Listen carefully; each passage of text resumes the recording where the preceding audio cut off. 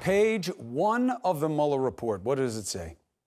The Russian government interfered in the 2016 presidential election in sweeping and systematic fashion. The last thing Mr. Mueller said today was this. And I will close by reiterating the central allegation of our indictments that there were multiple, systematic efforts to interfere in our election. And that allegation deserves the attention of every American. But it ain't getting it. Hacking capabilities only getting better. Social media propaganda. Bad guys are clearly ahead of the platform's ability and willingness to stop them. Election infrastructure still vulnerable.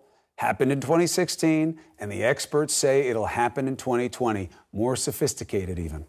Russia learned what worked, what didn't.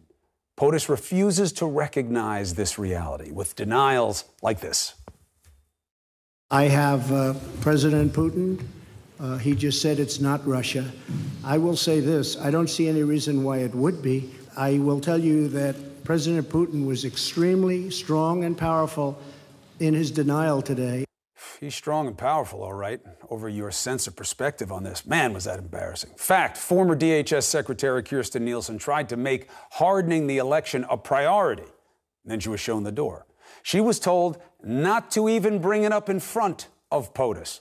DNI Dan Coats, the Director of National Intelligence, he released a worldwide threat assessment. The first topic before weapons of mass destruction cyber threats. And it says Russia is already looking to 2020 and developing new tactics to influence the election. And now Mr. Mueller centers it for you today.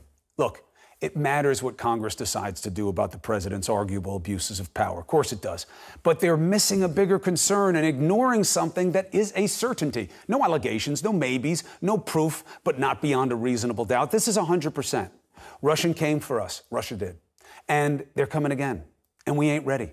And unlike the president's son in law, who says the investigation hurt American democracy more than Russia did, no one who knows a damn thing about anything to do with securing our country or our elections thinks that Russian interference is a small deal. Mueller knew what you wanted to hear, but he ended by mentioning this problem. Remember that. Now, as for the president, as you just saw, or I reminded you, he would rather embarrass this country on a world stage and all but congratulate Mr. Putin for his efforts, but he's making a mistake. Not just on the facts, but his feelings. He thinks denying Russian interference is good for him, but he's not seeing it right.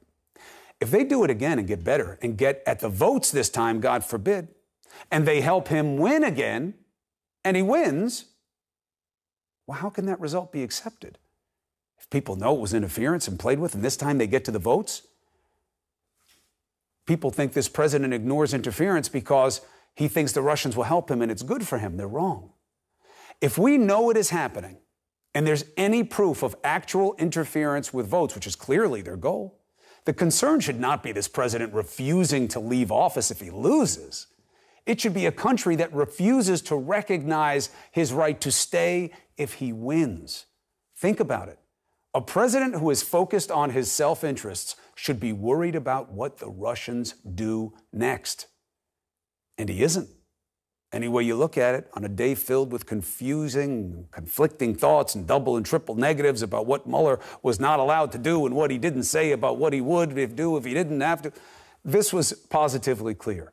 Russia interfered. They're going to do it again. And seeing how effectively their efforts put us at each other's throats, they have every incentive to go bigger than ever.